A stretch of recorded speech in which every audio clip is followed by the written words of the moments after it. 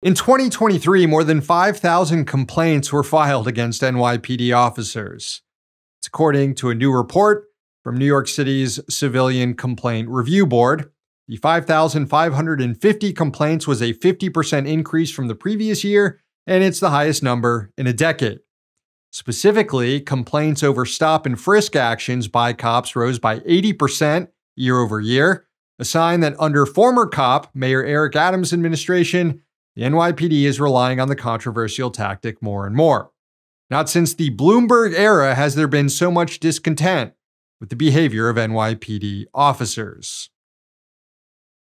Hey, thanks for watching. Hit the subscribe button so you don't miss any of our new videos. Also, if you want to see Means Morning News in its complete form, not just the clips we post here, head on over to Means TV and get access to all our new episodes and our entire backlog, plus tons of other great movies and original TV shows.